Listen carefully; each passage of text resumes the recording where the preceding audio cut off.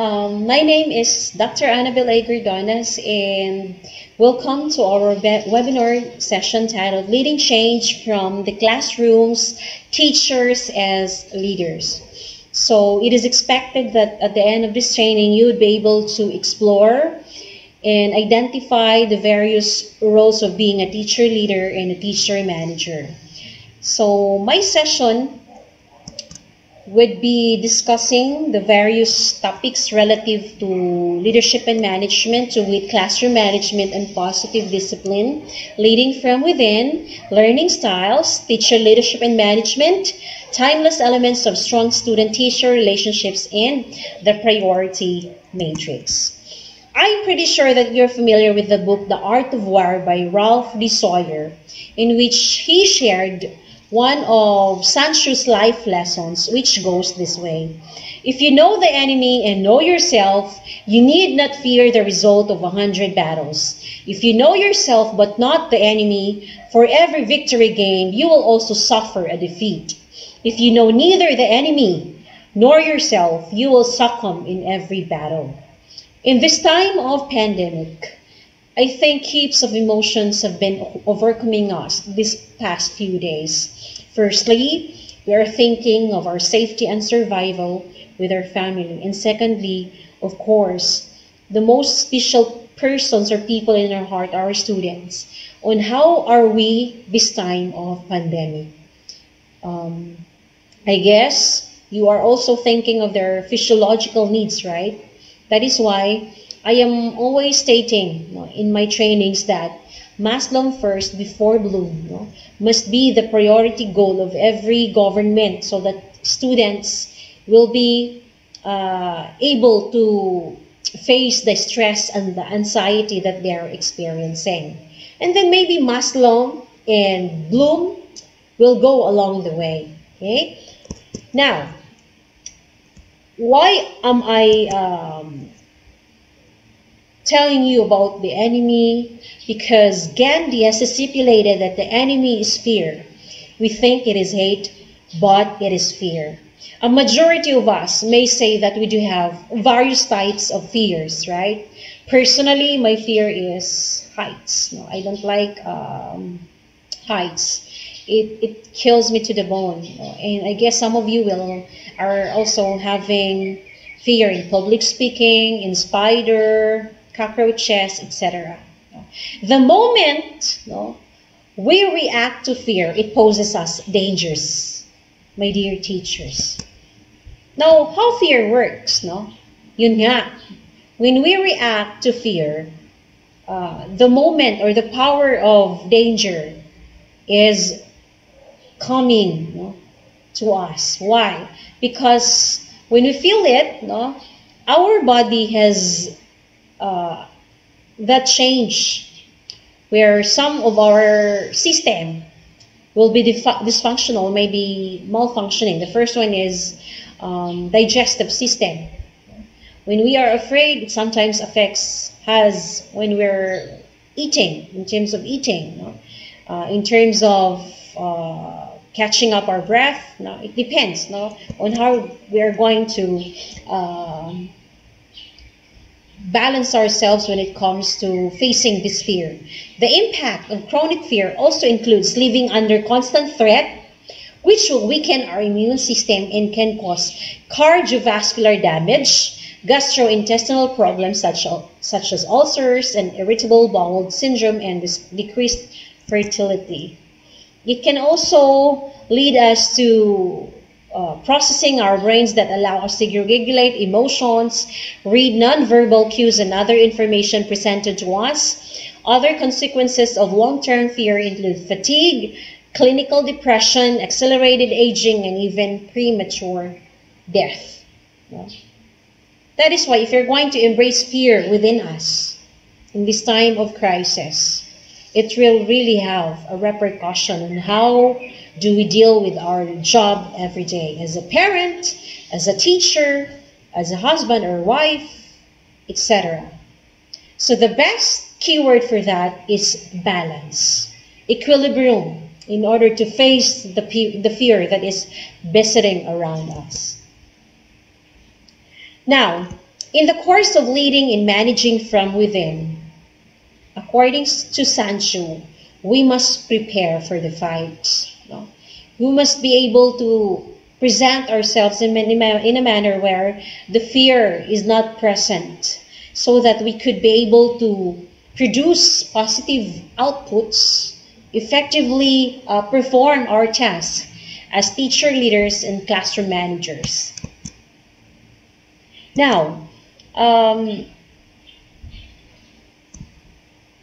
part of our topic, which is quite uh, crucial now, nowadays, is classroom management because we are actually transitioning from face-to-face -to, -face to online learning or flexible learning.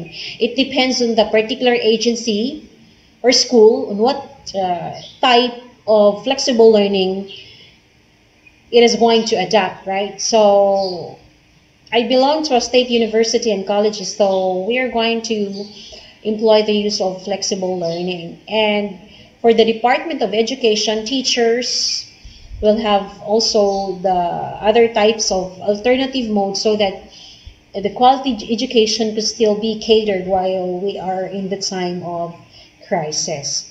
So I guess we do have different definitions when it comes to classroom management because we do have different uh, experiences. It's maybe you will tell me uh, it's being prepared for the class, you are creating a safe and comfortable uh, environment for your students. Uh, it's one way to build the self-esteem of your students. It's where you present and prepare your classroom uh, learning environments, etc. So I could not judge you on what possible classroom learning management you do have now because I mean, I do not know your students. It's you alone could identify how to calibrate your own classroom managing. So the last resort no, that we could describe of it is effective discipline. When we establish rules and rules and routines in the classroom, it's being one way, one pathway to become an effective teacher because uh, it's established and the students are guided as to how and and uh, when are they going to to present themselves in a manner that they are respecting and showing uh, interaction toward their teachers. So it is different for everyone. Okay. Again, um, sometimes there uh, you would observe your classroom teachers are quite um, strict when it comes to giving uh, class requirements, and you are there just observing as to, or maybe questioning, no? the way how your colleague is performing such or doing such uh, classroom management. But you know, we can never really judge with the way how our colleagues are managing their own uh, classroom environment because we do have different uh, styles in classroom management. Okay, now So I, I, I would say that you're aware of the attention grabbers that we normally do and present in the classroom. No, attention grabbers are used in order to uh, discipline our students, uh, tell them that we are also giving some rewards and praises, and other multidimensional functions as to how and when to use attention grabbers. You may use stop, give me five, listen, excellent um, in the course of online learning, we need to prepare for this. No? That's why we are preparing the pre-learning packages because it's where our students are still uh, transitioning transitioning themselves no, from the lesson of the day. That's why teachers' uh, motivational uh, tools when it comes to enticing the attention of their students must be systematic and comprehensive. When you are in the actual face-to-face interaction, you may bring cardboards, any any other materials in order to incorporate the way how you uh, formulate your attention grabbers. You can also seek the help of your students to do this. Well, for example, in the Facebook, you could see heaps of emojis or tools, no, when you like, when you dislike, and other uh, emojis which could grab the attention of the users. So the big question here is why is classroom management important? Now, according to John Dewey, classroom managers are providers of quality education. There is a need to prepare, practice, and uh, present the best calibration on uh, classroom management. And it serves three functions. The first one is satisfaction and enjoyment. This should be the ultimate goal of every classroom manager to create a fun, uh, meaningful, inspiring learning environment because students will be motivated and will be inspired to uh, join in participate in the class because the atmosphere is pleasant right? The second one is classroom management issues. There is no perfect uh, learning milieu for our students because there are oodles of issues that also we are facing nowadays, especially we are transitioning to a flexible learning. So, uh, firstly, our students will be adjusting with the use of the gadgets in uh, interacting with their teachers. That's one of the issues because some students do not have internet connection. They don't know how to uh, to navigate themselves with the use of the learner management system that the teacher is actually using. Okay, so there are a variety of issues that we need to address. The third one is classroom management and effective instruction. So through it, the teacher could be able to deliver the content, learning experiences, pedagogies, etc. because uh, it's being settled at the onset. The teacher is prepared no? The teacher is able to situate the, the, the normal situation where students will be in place upon listening and sharing ideas. So the aspects of classroom management actually um, consist of two things. The first one is prevention and the other one is intervention. So the two are actually noted to be given due importance so that uh, problems will not be occurring afterwards. When I say prevention, that the, uh, it's what the teacher does before a problem occurs. No? So it's quite relative and relevant when it comes to classroom management because before a problem occurs, the teacher is ready, establishing his or her rules rules uh, with the students. And the other one is intervention. So it means to say that there is a problem. And so the teacher will be making some elements how to possibly uh, solve the problem. So I would say that um, prevention is better because it's where uh, the rules are already established in order to minimize the problems which shall occur in the classroom environment. So how do we get the attention of the class? So let's go back again to the attention grabbers that we normally uh, introduce in the classroom. No? For an online learning, it's quite difficult. That's why we need to plan out. We need to to strategize how to um, get the attention of our students. No? Is the way how we prepare with our modules, our lessons, our instructional pedagogies, etc we need to do it one by one, okay, so that our students will be able to enjoy it and uh, will be able to uh, identify that this type of learning experience is uh, meaningful. Okay, so never forget the good things that we need to instill in them. We need whenever they are in the pace of flexible learning. So what are your problem days, times, etc. And what strategies do you use? So in the face-to-face -face interaction, marami yan. No? And for now, we will forget those things muna because we are about to shift no, to another dimension. And that is where we do the flexible learning. That's why we need to be prepared. I, I, I, advise you need to take one course in online distance learning so that you can experience how to answer learning courses, assessments, and other tools no needed in order to on, uh, enroll yourself in a learning milieu so that you can have a better perspective that your students uh, may feel during the course of a learning environment through online learning. So along the way, there would be some uh, problems. That is why uh, the course of being a teacher leader and teacher manager must be our top priority. So, so when we say student engagement, it's where the students are involved in the learning experience inside the school or maybe outside the school, right? So it could varies or it could vary into three dimensions. The first one is cognitive, behavioral, and emotional. When we say cognitive, it's the learning investment of the child. Behavioral, it's where the child is involved when it comes to academics, non-curricular activities, and other things that he or she uh, does in the school. And the last one is the emotional. It's where the positive and the negative reactions that the students or learners are feeling when they are engaging with their teachers, peers, uh, school administrators, parents, and etc.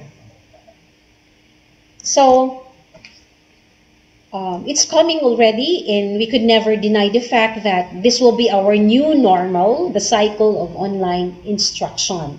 Okay, um, I guess you have various problems because uh, ako, personally, I do have problem when it comes to internet connection. That's why um, sometimes I do recording in order to not disrupt a certain talk or maybe a certain classroom presentation because internet connection is not really good in our country. That's the fact, actually. Okay, so the cycle of online instruction could be summarized into four. This answers the whys, the how whats, the hows, and the what ifs. Okay, and when we are talking about uh, Bloom's taxonomy, learning in action, we are considering the lots and the hots, where these two are actually inseparable in order that the, the experiences no, needed by the child to become effective and holistic learners will be best achieved. No? In the course of e-learning, we should never forget no, the, the role of Bloom's taxonomy of learning.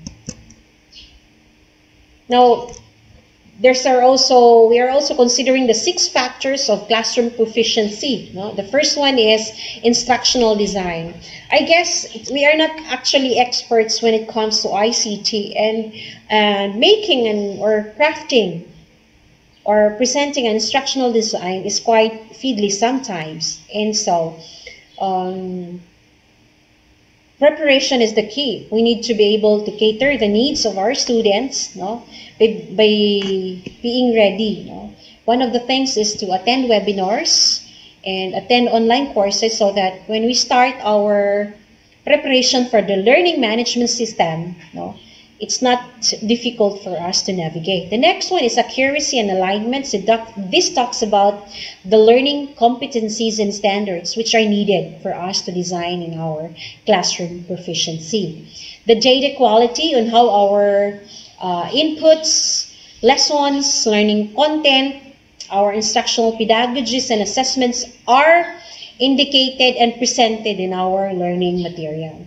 The whole literacy, so we're considering the four macro skills of our students when it comes to listening, writing, speaking, and reading. So this talks on how we are, uh, they, how they're able to flexibly adapt you know, to the different assessments provided by the teacher. Student motivation, so it could be extrinsic, extrinsic or intrinsic, where students will be given the chance to uh, to, to get the drive, no? to do their share, to go for the best uh, learning experiences that they desire so that they can achieve such learning competencies at the end of the lesson. And the last one is the depth of knowledge. Okay, so the future employers of our students are actually are actually considering their uh, wide background, background knowledge when it comes to theories. That's why teachers should never forget that learning content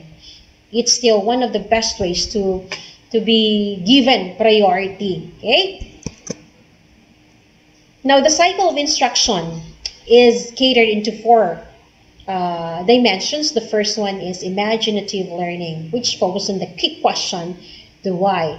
It means to say that our students are uh, really would like to involve practical applications in the classroom. Okay, so in the course of online learning, it's the job of the teachers to find suitable learning experiences which will answer and cater students' ability to uh, present and experience authentic real life problems. Okay, I, I, guess some of our materials are taken from the open educational resources, Commons, and other important resources that we are uh, actually getting from the internet. But we sure to always inject uh, real ground problems so that our students' abilities to answer the whys you know, will be based will be best facilitated.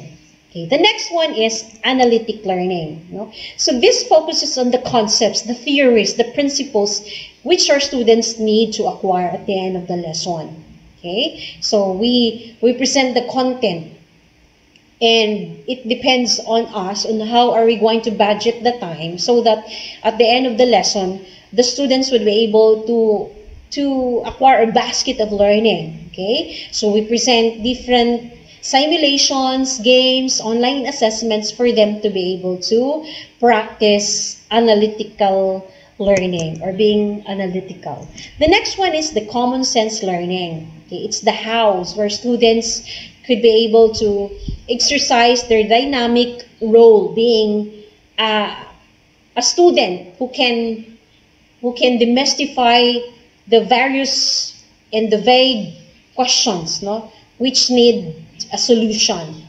However, the teacher facilitation is still very important. So whenever we are still, or even if we are targeting that they, at the end of the lesson, they will have that, uh, they will become empowered learners, but teachers need to also guide the students so that the possible uh, learning competency must be acquired. Okay. The next one is dynamic learning.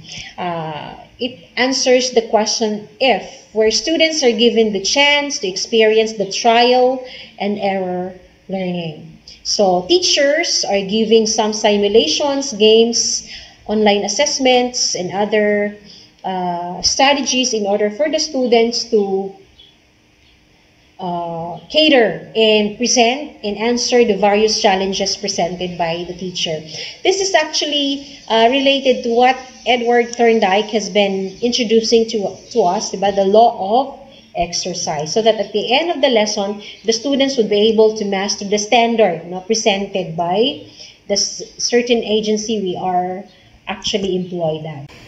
We also have the Dunn and Dunn learning styles model, which is also a chance for the teacher to identify the preferences of the students, which could range from psychological, physiological, uh, emotional, sociological, etc. No? So accordingly, Dunn and Dunn is one of the best tools or learning inventories for the teachers to adapt so that he or she may uh, be able to identify the learning preferences of his or her students. Okay. Now, I hope um, you will also be able to embrace Curry's Onion model, where teachers will be able to identify the three ways on how to uh, explain how learners are exhibiting the processing of learning no, inside the classroom. This could range from cognitive personality style, information pro uh, processing style, instructional preferences. Okay. We also have left brain dominated versus right brain dominated. So when we say left brain, it means to say that uh, learners are objective and the right brainers are considered to be subjective. So you can see the two uh, descriptions of this learning style. When you say left brain, students are analytical, detail-oriented, they're good in sequencing orders. They're rational thought, verbal, cautious planning. Good, they're good in planning, math, science, logic, rightful vision, and right side motor skills. When we say right brain dominated, it means to say that the learners are intuitive thought, holistic perception, random sequencing, emotional thought, nonverbal, adventurous, impulse, creative, imagination, uh, left field vision, left side motor skills. So knowing this type of learning style no, or learning styles, it's easy for us to be able to adjust. It's, if, it's easy to for us to be able to devise learning simulations, games, and learn other learning experiences for our students to perform in, in the classroom. Okay. The next one is McCarthy's 4MAT system, which is actually composed of four circular quadrants, which caters the do, feel, watch, think of our students. So this involves the cognitive, the affective, and the psychomotor skills of our students. And from that, teachers will be able to cater their learning preferences. So what teaching methods and activities suit different learning styles? My dear teachers, we are going to have a short game today and may I request every one of you to please prepare your pen and paper. Okay, are you ready?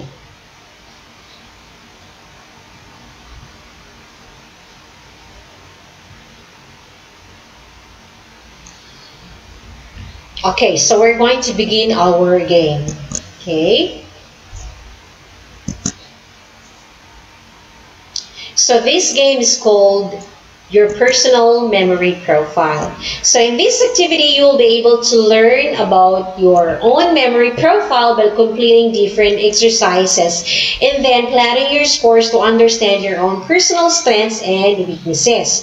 So at the end of the activity, you'll be able to fill in a chart that will show where your strengths and weaknesses lie. So greater awareness of your weaker areas can lead you to try out different methods to find strategies that suit you personally. So the areas of assessment that I will be evaluating will be the short term, long term, verbal, visual, and the memory for facts. Okay, so we're going to delve and measure where are your weaknesses in terms of these areas of assessment. Are you ready, my dear teachers? So a count of 1 to 15, no picture taking, I want you to memorize these numbers, okay? So be mindful that you are not to write this one, just memorize in a count of 1 to 15. Ready? 1, 2, 3, 4, 5, 6, 7, 8, 9, 10, 11, 12, 13, 14, 15. Okay, my dear teachers, it's time for you to write all the numbers that you can recall from the activity that we have in a count of 1 to 15. Ready? 1, 2, 3, 4, 5, 6, 7, 8, 9, 10, 11, 12, 13, 14, 15. Stop. Okay, so for now, we'll check your work. Please check your work now, my dear teachers, and let's see if you're able to get the numbers needed for you to be able to measure your short-term memory profile.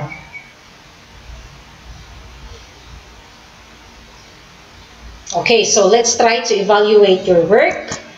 So, my dear participants, your score is how many numbers you were able to recall in one go. So, less than 5, it means you are poor. 5 to 9, average. And more than 9, you are good.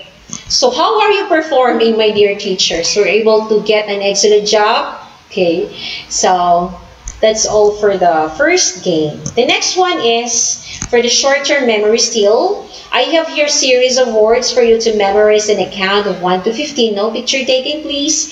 So you're going to memorize this in a count of 1 to 15. Ready? Go!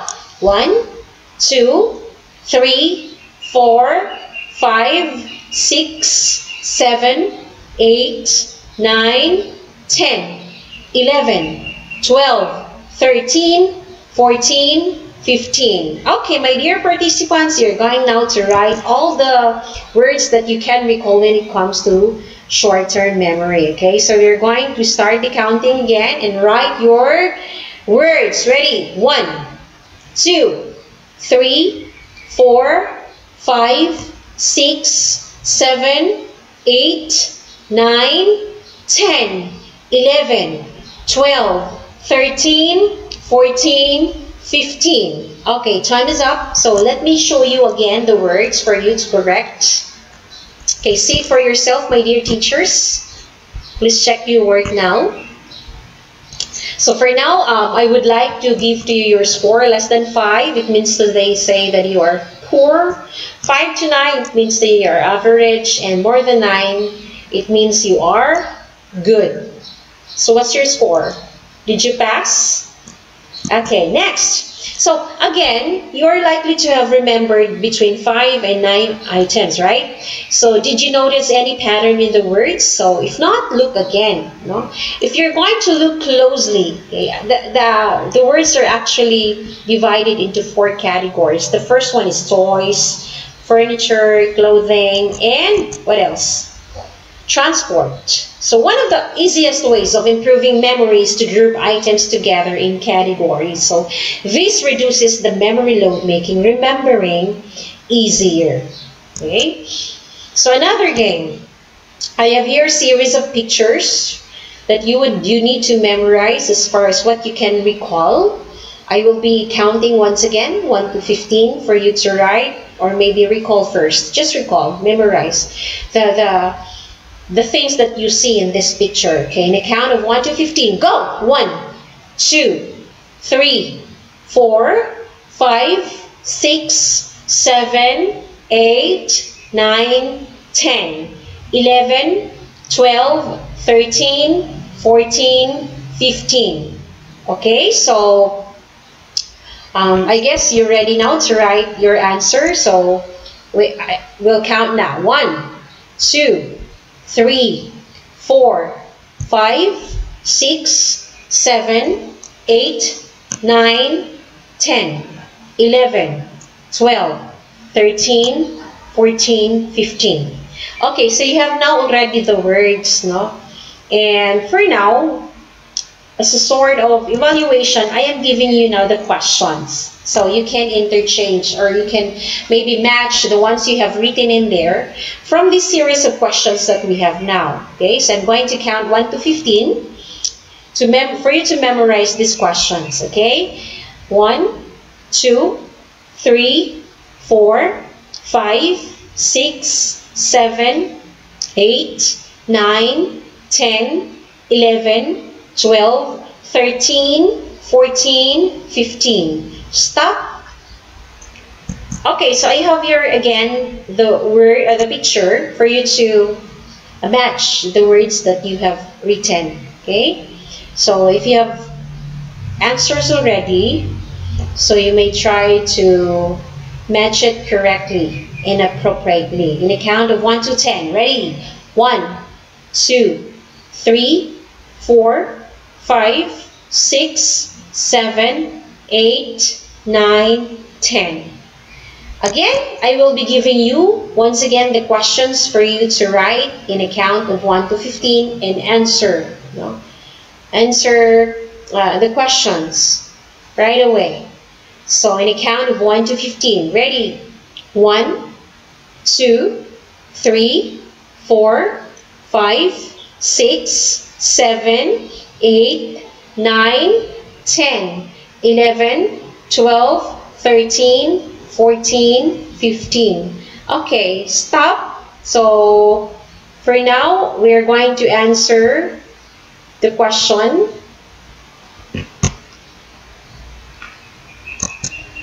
So this is the picture, right? So my dear teachers, how many people were in the queue for the bus? So uh, let's count. One, two, three, four, five, six. Okay. The next question. Sorry for that. The next question is,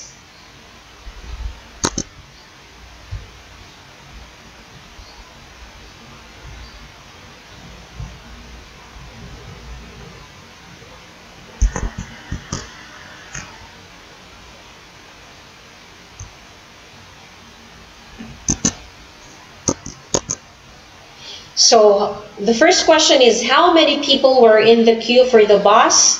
So let's count one, two, three, four, five, six. So this is the answer. The answer is six. Next question. Um, what was the man with the bow tie carrying? Okay, let's try to check. The man with the bow tie carrying. So he's carrying umbrella. The next question. What color was the sports car? Okay, so let's try to check our answer. Uh, sports car. It's color blue or violet, right? What was advertised on the bus? It's circus, this one. Okay. The next one, what was the third shop from the left selling? So one, two, three, so tools, equipment, or hardware. The next one is, sorry,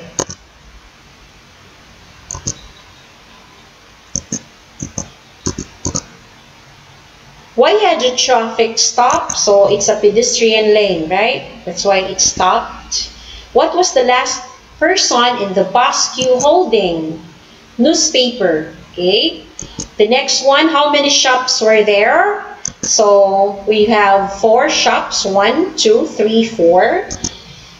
What was directly behind the bus? So it's a bicycle, what was the weather like? So it's sunny here, the answer. It was, was the shop on the right selling, so burgers, cakes, etc. Okay, so let me let's let us check your work and let me give you your score for this activity. Less than five, poor. Six to nine, average, and more than nine, it means good. Okay. So let's try to check your work. So what's your score, my dear teachers?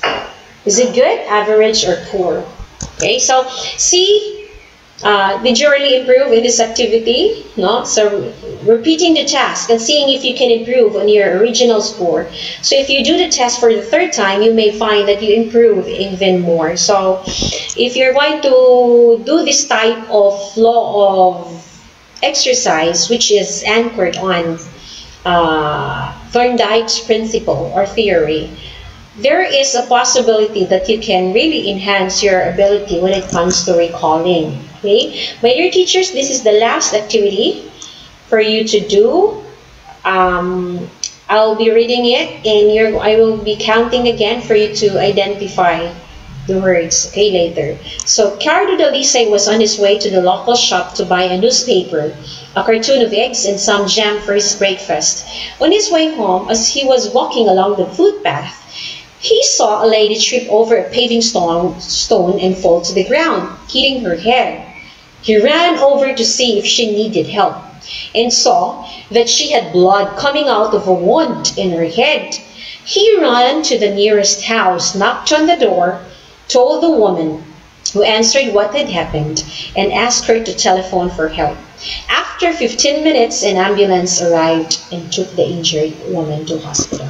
My dear teachers, I'll be counting once again for 15 uh, seconds no, to write the words that you can recall. Ready? Go.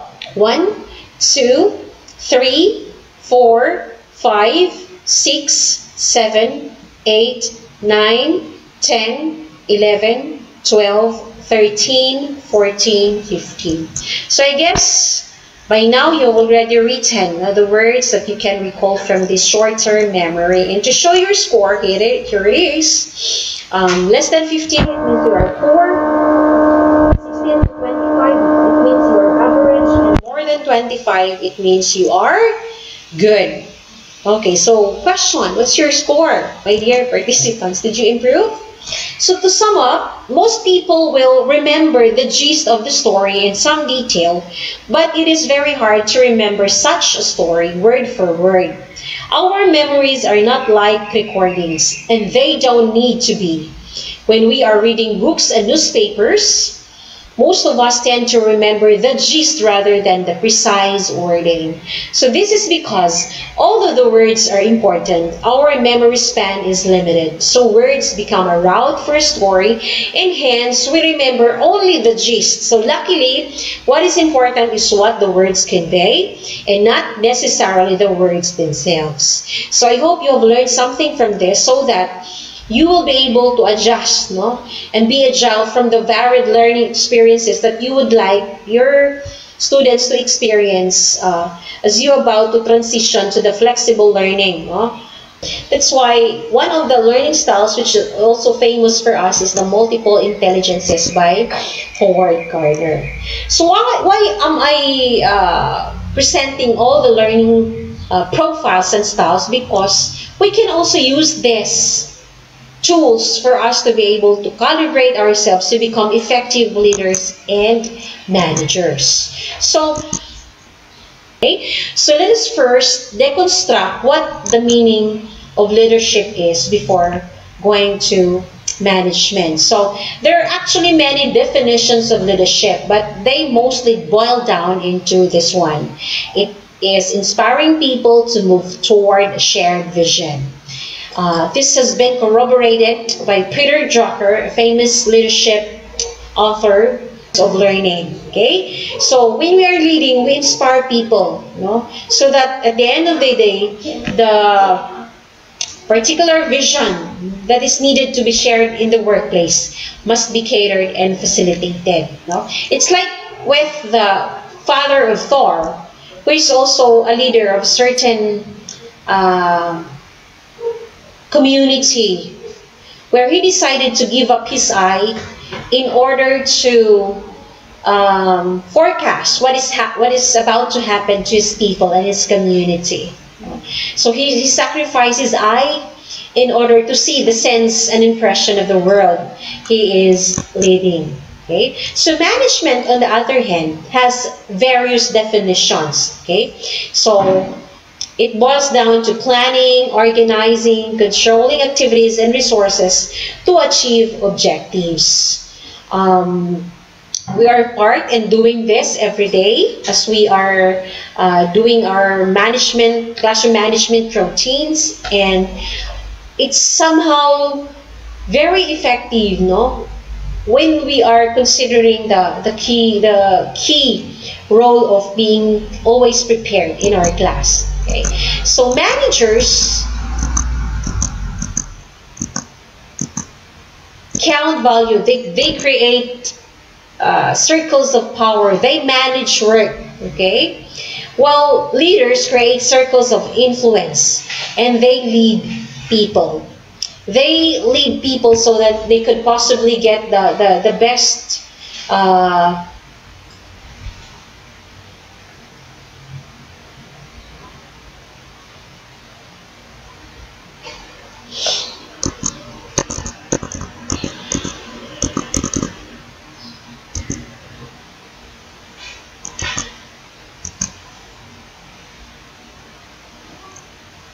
So why I saying or presenting to you the various types of learning styles? Okay, so those styles are not only applicable for our learners. Okay, on top of it, it's also applicable to us as teacher leaders and teacher managers because it's for that uh, thing that we will be able to uh, adjust and be flexible as to what uh, learning uh, preparations are we going to exhibit so that we can have an effective performance in the workplace okay? So when we say leadership there are actually many definitions about it but it boils down into inspiring people to move forward uh, toward a shared vision okay?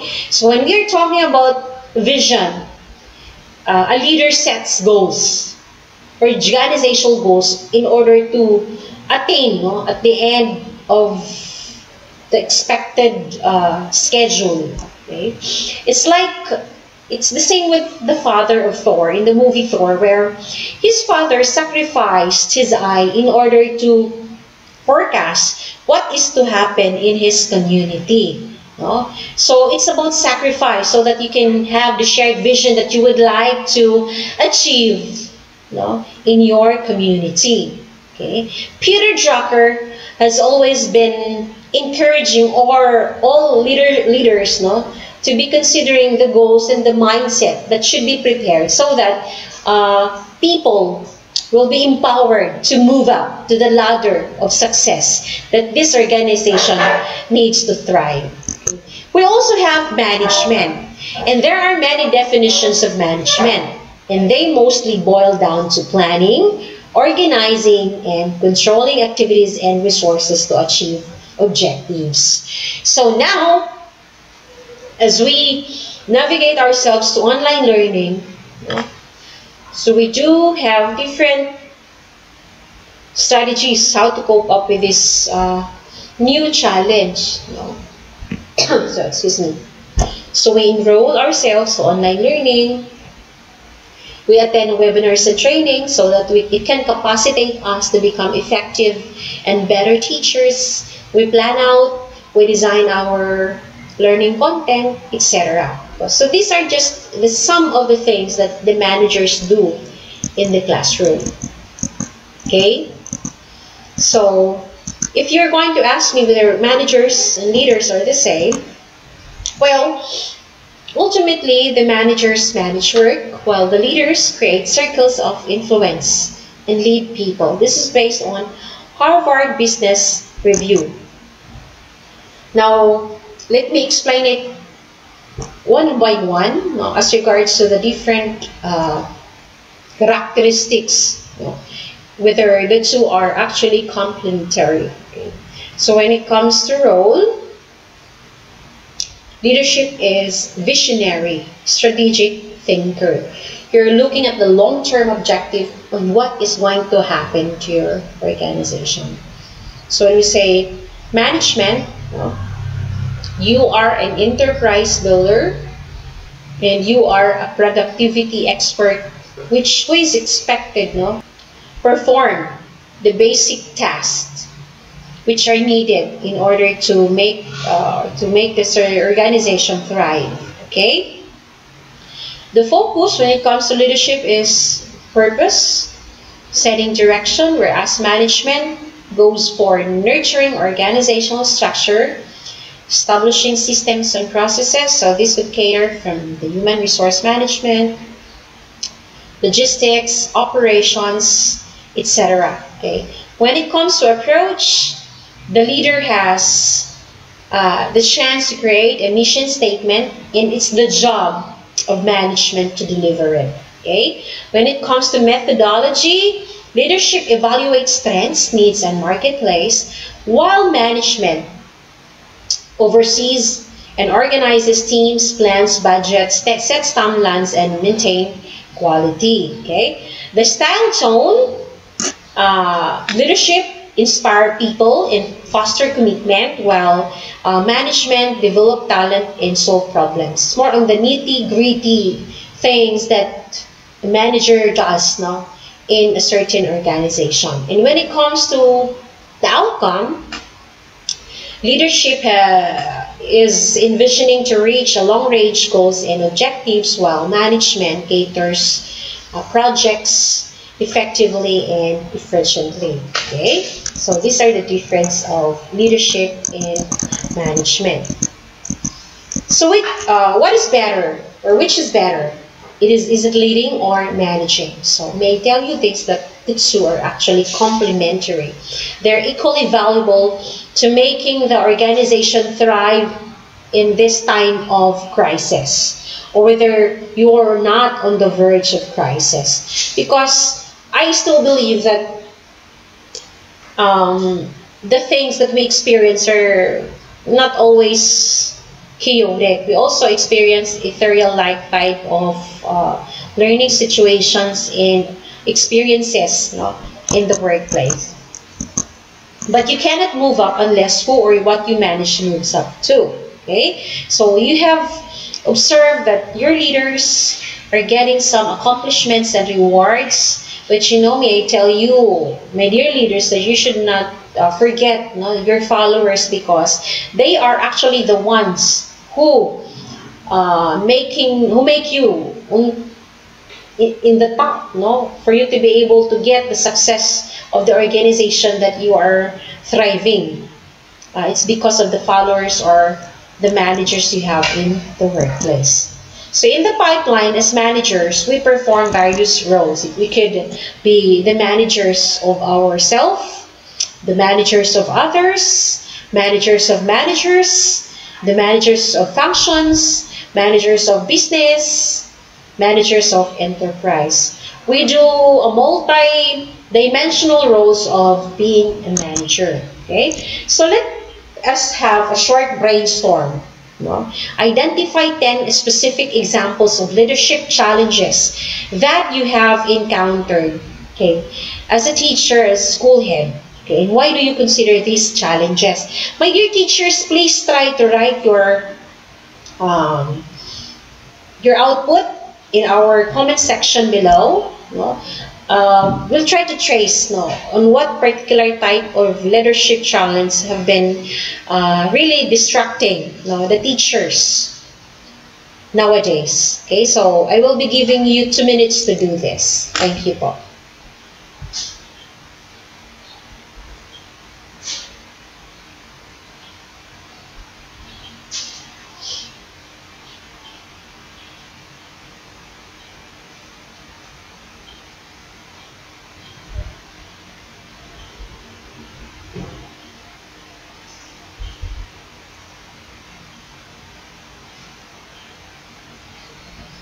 So I guess you have now the 10 specific examples of leadership challenges that you have encountered. So for now, I would like you to write in your comment section now uh, for us to be able to identify and explore these particular challenges. Because it is actually um, important for us to deconstruct this and discover and from that we'll be able to enhance and learn best practices how to solve these challenges. Okay, so how leaders get extraordinary things done in organizations. How leaders turn challenging opportunities into remarkable ones. It's just a matter of being able to tap, you know, to tap great people who shall be with you, know, to cater and solve the problems in the organization that you are serving. So the qualities admired by our constituents in order to thrive the organization.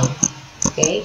This consists honesty. The first one is uh, being honest, which answers the question, is that person truthful? Are you ethical? Are you principled? Do you have high integrity?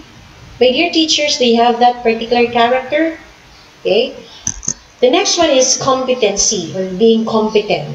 Now, to enlist in another's cause, we must believe that they know what they are doing. So when we take, when we say competency, uh, the teacher is able to acquire the knowledge, skills, and attitudes that he or she needs to execute you know, upon the work that he is performing. You know.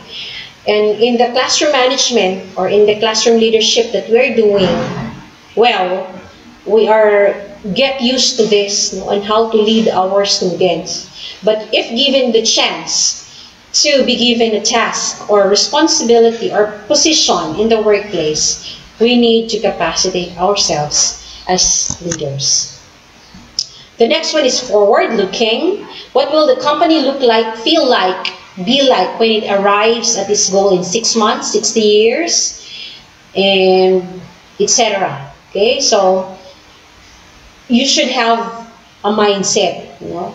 You should see to it that in five years, this would be the, the current situation of my organization, of my leadership. In 10 years, I would be able to produce holistic learners, who learners who are uh, considered to be successful engineers, teachers, etc. No? So you are always looking for a long-term uh, okay? So the next one is inspiring. If a leader displays no passion for a cause, why should others? Okay?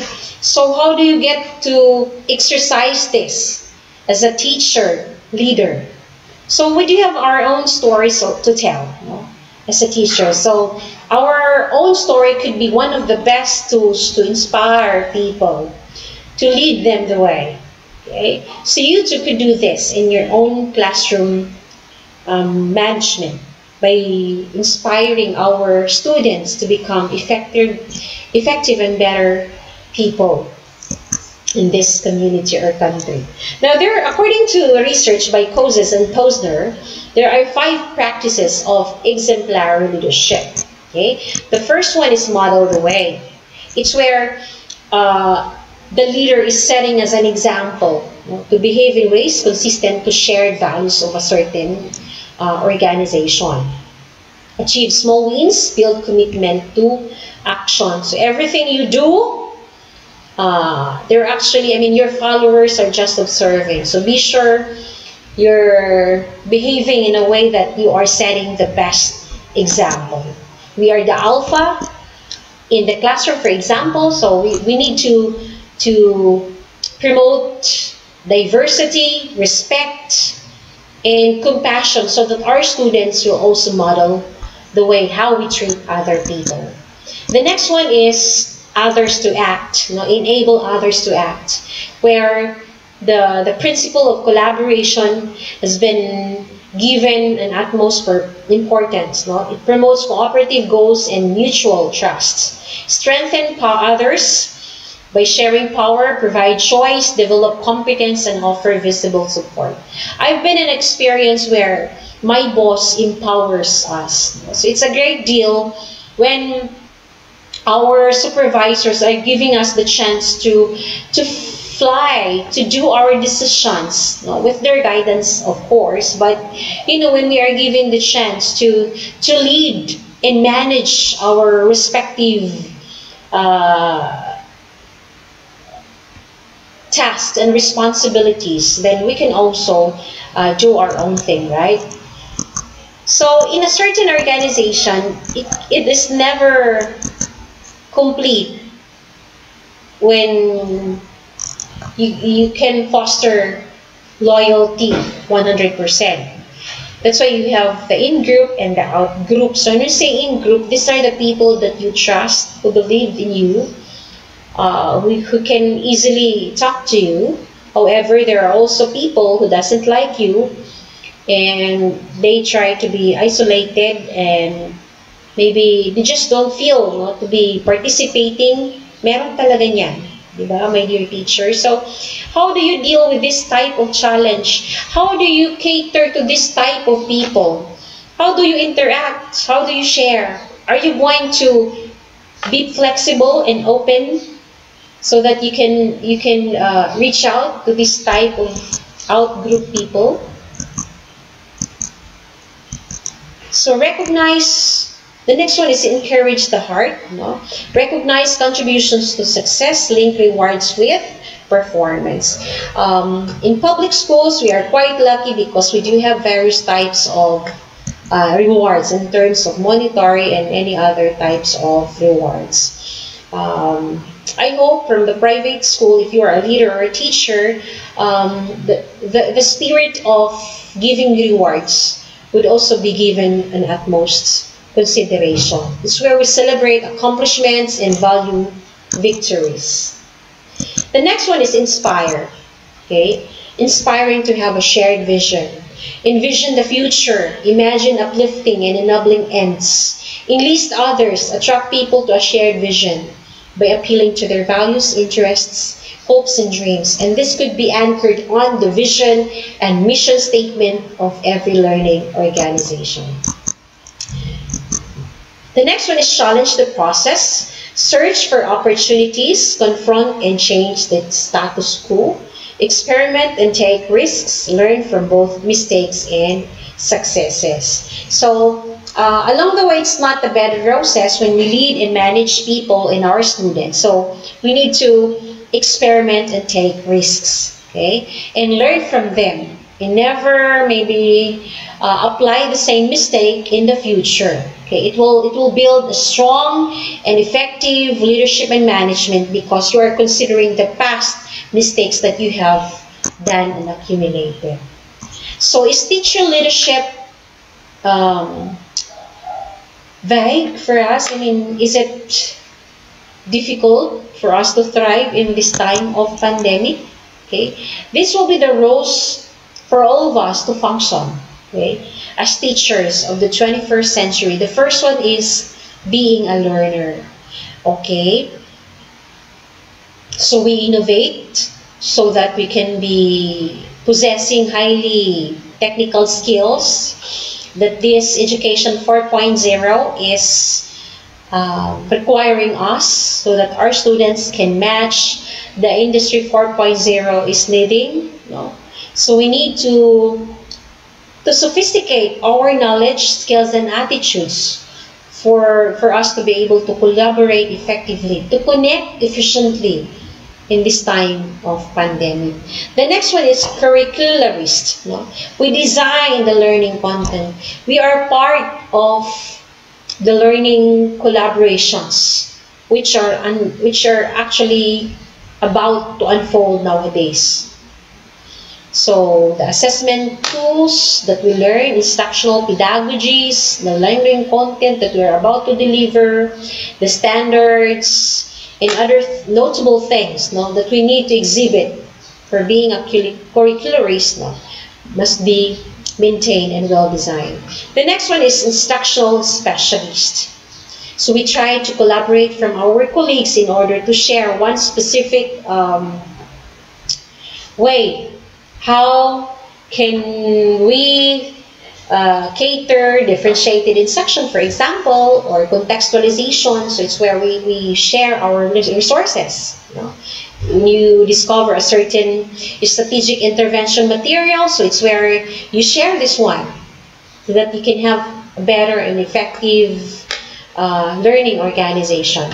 We are a resource provider, so all the things that we share well, to our students must be carefully planned and prepared. And we are the catalysts of change. We are not always uh, adapting no, to the old school that we are used to do but most importantly is we are seeking for the new knowledge and innovations no, that we need to embrace so that at the end of the day, we can uh, share this one to our learners. Okay, so let me share to you some strategies that stick for creating a pleasant, happy, and productive online learning environment. So the first one is meet and greet. So for example, you'll be using online so I've been telling you about the module overview that you need to share so that your students will have uh, a certain identification what to do. But be sure you are meeting and greeting them. You can use a Zoom, but for me, you do not need to do a lecture in Zoom because it has a time uh, restrictions, right? So maybe you can have some kamustahan muna in the first meeting, okay, you, you may ask some questions on how they are coping with the recent pandemic, okay. So you need to, as a matter of fact, one of the best ways is for you to memorize their names. Okay? That's one of the strategies I normally do in the classroom during the first day. The next one is strategy, strategy number two, the do now. So it's where you let them perform something or do something so that uh, their activation of the prior knowledge has been uh, activated okay or you may do some rules and guidelines some orientation for them to be able to uh, do in your class or in your course the rituals and routines in reteach plan that you are about to do. Okay, so we are aware of the normal rituals and routines no, in the classroom, but in the course of uh, online learning, so you can provide some etiquette uh, that they need to uh, maintain and establish and observe while you are or they are in the online mode of delivery. Strategy number four, work the platforms. It's where you monitor the performance of your students by putting up a discussion forum or discussion board. So when you're using Schoology, there is a platform where a teacher may use it to to have a sharing, group sharing within the with the student. So strategy number five is avoid bias. So teachers must always inculcate no the principle of being, uh, I mean, of avoiding prejudices in the classroom. You should uh, maintain courtesy and respect so that students will not feel uh, that my teacher has favoritism, uh, the teach my teacher doesn't like me, and all this type of negative reactions that your students might feel in your classroom environment. Strategy, strategy number six, monitor and talk. So I encourage you to do or have your discussion forum uh, dashboard in your dashboard because it's where you you can ask their their ideas on a particular lesson. You can let them ask something if they have confusion on the recent lecture that you have presented or the current assessment that you have just uh, let them do. Okay? Strategy number seven, mean business. So I'm talking about the deadlines that you're about to give to them. Uh, be sure when you say that today is the deadline, so be sure, be sure you're not um, changing your minds and do another or maybe create another uh, schedule for that because because students are really observable when you do uh, changing your rules and schedules okay? So sometimes they become uh, they're always thinking that I, can do this next time because my teacher is considerate okay strategy number eight is to advocate. So model your way. Uh, let, let your students apply all the necessary critical thinking skills that they need to to experience in the classroom. So you need to provide them the the best learning ex, uh, experiences as well.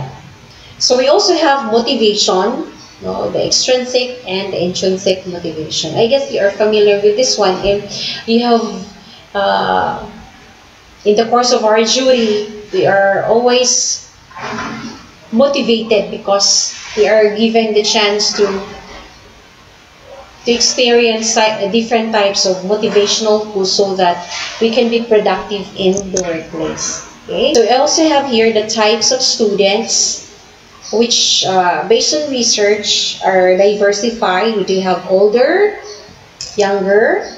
We also have adversarial students who are posing uh, problems in the classroom. No? So uh, I guess you can relate with me. And you have some tools on how to cater to this type of students. We also have missionary, the veterans, competitive, tech savvy, in which for now, um, should be prepared kasi when during the course of online learning, baka mas advanced pa yung students natin kesa sa'yo o sa atin.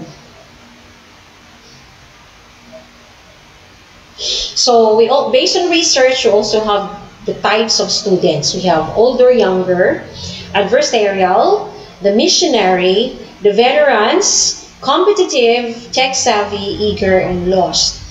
So, these are just some of the types of students that we will be um,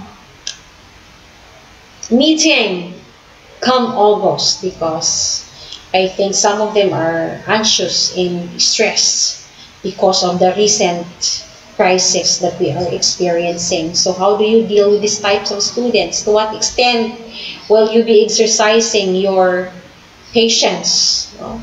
in answering and tending their questions and inquiries in your online classroom? So we also have types of teachers from the student's point of view. Okay, so the first one is the steady droner. This is a teacher who is always prepared in coming to class. Okay, oh, he's a teacher who is organized when it comes to presenting the lesson. He is inspired in simulating uh, activities in the classroom. Uh, he has a variety of games to be uh, prepared in the class. So, do you sometimes experience this type of attribute, my dear teacher? The disdainful. So, this type of teacher is merciless, vindictive. Okay? So, I hope you will not apply this one in the course of online learning because now uh, we need to be kind since our students are experiencing various types of emotions in reacting to the recent pandemic okay, that is visiting us. The next one is the mighty famous big shot. Uh, this type of a teacher is exciting, impressive because he has a lot of information to share you know, with the students. The beloved bubbling grandpa, an old-fashioned teacher, but uh, he has a lot of things to share, ranging from the old school to that of the modern school that he is uh, experiencing. That's beloved bubbling grandpa. The genius from another dimension. The teacher who always uh, presents omniscient things. No, he's said to be a researcher. He knows everything. When a teacher or when a student asks, he easily answers the question because he is an intelligent person. Okay? The gloom and doom. This type of a teacher talks about creepy stuff in the classroom. So sometimes uh, students may feel uh, strange feelings whenever they uh, collaborate and connect with this type of a teacher. The single theory to explain everything uh, where the teacher has a multitude types of theory to, to share to the students and students will turn into believers. Uh, do you sometimes do that, my dear teachers? When you explain your uh, theories in the classroom and your students will become uh, I mean, they will, they will be really amazed with how you presented your your beliefs and and things no, relative to the discussion that you have presented. The incomprehensible, very brilliant foreigner. So it is a teacher who is sophisticated when it comes to presenting his ideas with the use of the gadgets, with the use of other tools and equipment in order to reinforce the type of learning he is delivering. And the nice little nobody, a teacher who seems to not exist at all. Yeah. So I hope we will not be experiencing this type of treatment no, from our students. That's why we need to be innovating every day so that they will feel secured and inspired whenever we start our so we do have here the current working generations. It could cater from the matures or the veterans or traditionalists from the 1900 to 1945 the baby boomers, which uh, sprung from 1946 to 1964, Generation X, X 1965. So we also have the current working generations, the matures or veterans or traditionalists, from 1900 to 1945, the baby boomers from 1946 to 1964, Generation X 1965 to 1980, millennials or Generation Y from 1981 to 2000, the Generation Z, which started from 2001. So let's try to uh, explain now who are veterans or traditionalists people. So they are also known as the greatest generation. Why? Because as you can see, if you're going to trace the events, uh, it's where the Great Depression existed, the New Deal, the World War II, World War II, Korean War. See, can you can you imagine your life during this time of being a veteran? Uh, faith in institutions that are loyal and patriotic, save for a rainy day because rainy day, waste not, want not, and influential people for this are Ella Fitzgerald, Charles Lindbergh, and Franklin Delano Roosevelt. The next one is the Veterans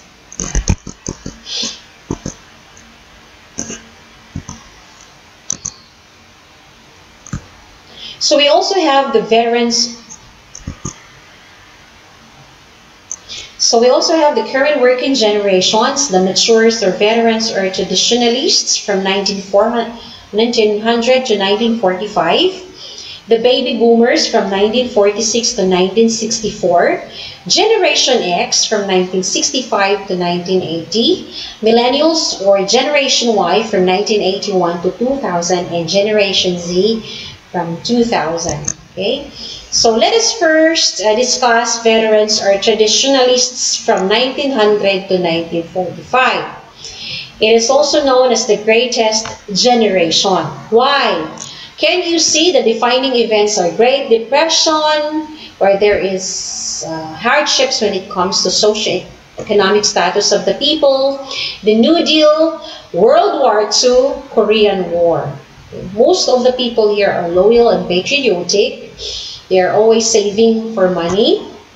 There are um, Influential people present to this are Ella Fitzgerald, Charles Lindbergh, and Franklin Roosevelt, who is the President of the United States of America.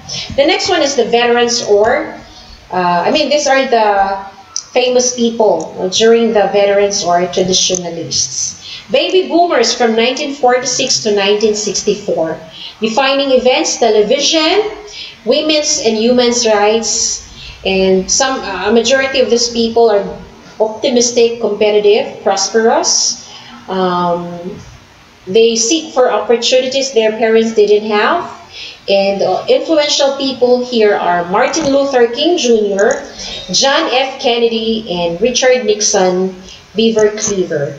So these are just some of the famous celebrities in uh, personalities during the baby boomers generation.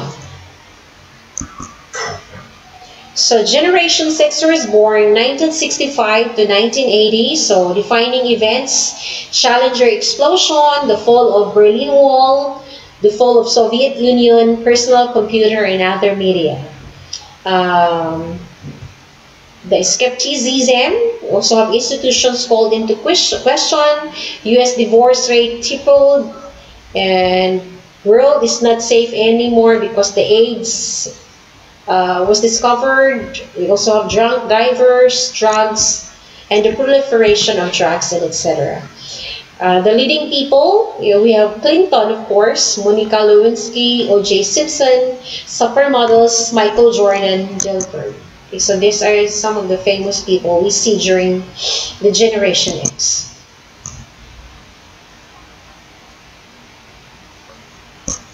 We also have the millennials who are born 1981 to 1999, also known as Echo Boom, Generation Y, and Baby Busters. Okay, the defining event events are Oklahoma City bombing, Columbine High School massacre, massacre, death of Princess Diana, Lewinsky scandal in the internet.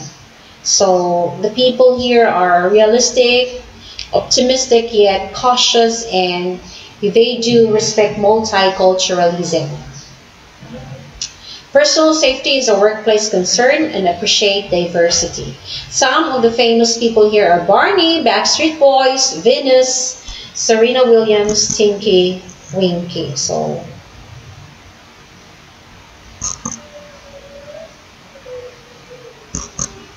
and the Generation Z from 2001 to 2015. And you can see there, these people are being influencers, adapters, digital natives who would like to explore around the world. And some of your students are really exploring this. And the best way for us to deal with this type of generation is also to explore and enhance ourselves as teachers. Okay? So we also have Gen Z. Uh, we can consider Gen Z as activists nowadays. No, they want to have people power, sometimes teen power, should I say because they want to exercise their rights, no? You have the proper education, the right to survival and safety. So how do you deal with this type of working generations nowadays? Now, in the course of uh, classroom management, sometimes you feel this, right? You are boring your students, and then what you usually do so that they will feel um, they will still enliven with the with the course lecture that you do for that particular day.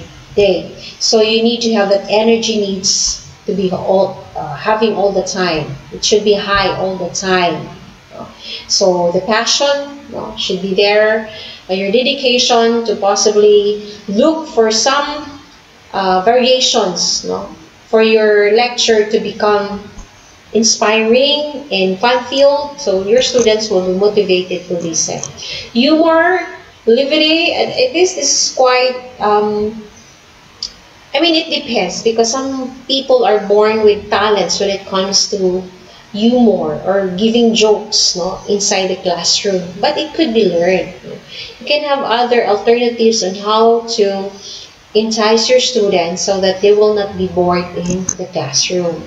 So what are students expecting? Okay. So they want a teacher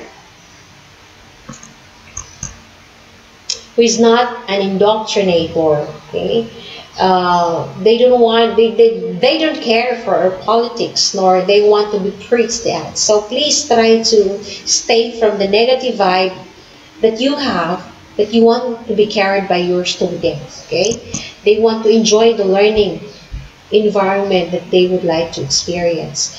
Who treats them with respect, who always consider uh, courtesy and acceptance in the class. As teachers, it's your job to always know their name, to always project the best in attention that you can uh, give to them so that they may experience a worthwhile classroom management experience.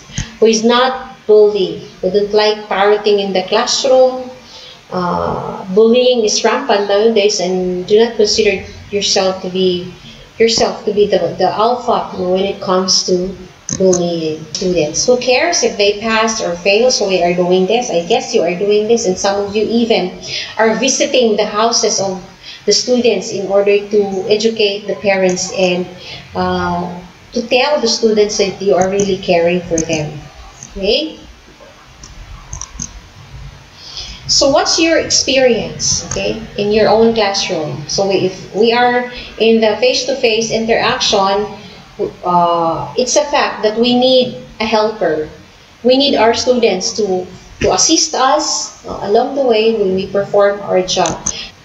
So what jobs can you have for your students? Much of that will be determined by your room, school, and students. So in the face-to-face -face interaction, you can let uh, you can request your student to perform some jobs you know, so that you can be assisted. The first one is messengers, where students are uh, selected you know, to assist you when it comes to uh, delivering a material to another location, teacher assistants who can assist you whenever you need an errand to be delivered or gather materials inside the classroom, the line leader and line ender who sees to it that um, all of the students are able to cater and get the correct uh, criteria or information that the teacher is giving you know, for the entire class. The next one is door holder. When someone comes in, like a visitor, uh, someone will do it you know, for the teacher.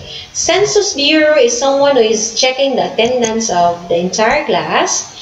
And the next one is refuse collector, uh, student or students who are in charge for the garbage collection, librarian who shall be fixing the magazines and newspapers and other books or other resources in the classroom, porter, culturalist, uh, this will be in charge for the for the watering of the, uh, the plants inside the classroom ichthyologist. This will be in charge for the uh, for the fish which are needed to be fed off. No?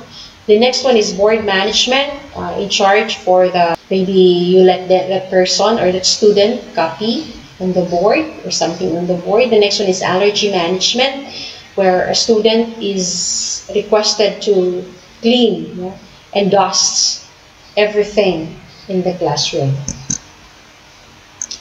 So I hope from this webinar you'll be able to identify your role as a teacher leader and teacher manager. Setting an example is not the main means of influencing others, it is the only means. So we need to imbibe the principle of the priority matrix, which is introduced by Stephen Covey, where it is, it, it is divided into four quadrants. Do first, we need to prioritize what to do and accomplish. So this may refer to the instructional designs that we need to uh, do now because we are about to begin our class come August. The action, what to do next, the things that uh, we can do later, and those activities which uh, call for low of urgency. For example, uh, uh, we are watching movies now. For now, yeah, that's crucial, but since we are about to begin classes, so why not concentrate on designing our instructional materials know, come August. So we need to prioritize so that we can we can thrive in this new learning environment. So ba the bad news is time flies, and the good news is you are the pilot. So leadership, according to Sun Tzu, uh, says that when one treats people with benevolence, justice, and righteousness and posts confidence in them, the army will be united in mind and all will be happy to serve their leaders. So that's coming from Sun Tzu. So I hope everyone will be able to get inspired from this training session where we can uh, faithfully demonstrate our role as a teacher and leader and empower our, ourselves to become effective leaders and managers by respecting, connecting, and collaborating others so that we can give the best tools and learning experiences for our students. So, my dear teachers, if you have questions, please try to message me in my email, uh, aagordonas at pup.edu.ph. And for that, Uh, maraming maraming salamat po and I'll see you soon. Thank you so much. God bless us all.